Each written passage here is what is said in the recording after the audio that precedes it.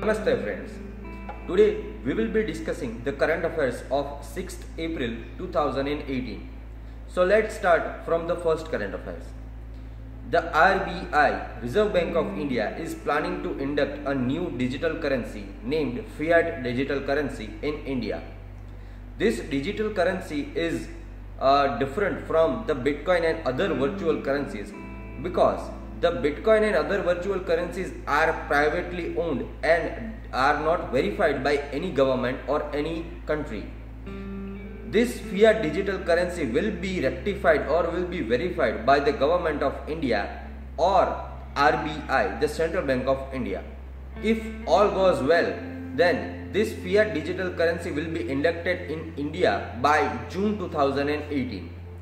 India is not the first country to induct this type of digital currency or the fiat digital currency because the other three countries have already implemented or are in the implementation phase of this fiat digital currency. The first one is England, the second one is Uruguay, and the third one is Sweden. Now let's go through the second current affairs. The CBDT, Central Board of Direct Taxes of the Indian government, has set up a five member working committee whose head is Pragya Sahai Saxena, who is also the Joint Secretary of Foreign Tax and Tax Research Division. This committee was set up in a view to uh, see and analyze the people who are tax evading and going to other countries from India, like Nirav Modi and Vijay Mallya. These people are called the high net worth individuals, SHNWI. So, this committee is set up to analyze that these millionaires who have left India after taking loan and not paid any taxes to India. So, what can we do that we can uh, get the taxes from them and pay to the Indian government? According to a report, some 7000 millionaires have left India without paying the tax to Indian government.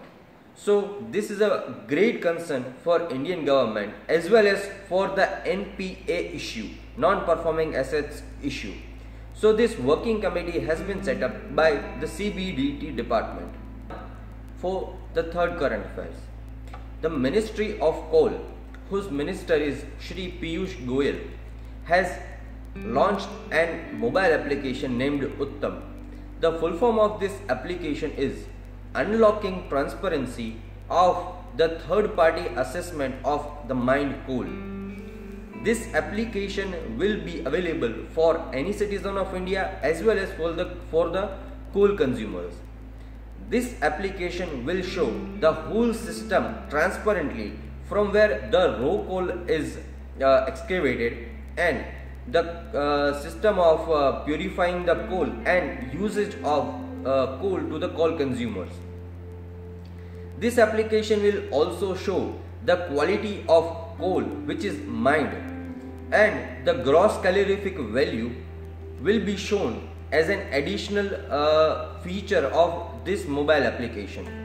Now going through the fourth current affairs. Indian Navy recently conducted a Chakravat HADR exercise in Kerala. This Chakravat means cyclone and HADR means humanitarian assistance and disaster relief. The southern coast, Kerala coast, Karnataka coast and Tamil Nadu coast are prone to cyclones and so the Indian Navy conducted this exercise in a view to get the best response from the Indian Navy, Coast Guard, Coast Guard Police as well as the state administration and the state disaster authority team.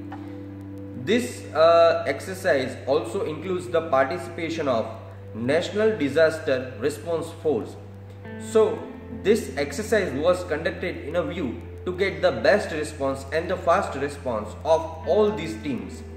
Going through the last and the fifth current affairs. Russia is building Turkey a new and its first nuclear power plant. Turkey is getting its first nuclear power plant which will be built by JSC Akkuyu Russia Nuclear Company.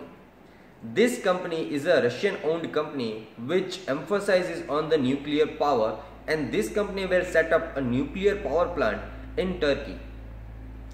This uh, nuclear power plant will be set up in the Mersin province of the southern Turkey. And according to a vision of the president of Turkey, whose name you have to write in the comment section, his vision is 2023 vision because in 2023 uh, Turkey is completing their 100 years. So according to this vision, Turkey needs to set up some self-sufficient ways to meet its energy demands. This nuclear power plant has a capacity of 4800 megawatts and it will be set up in four different units.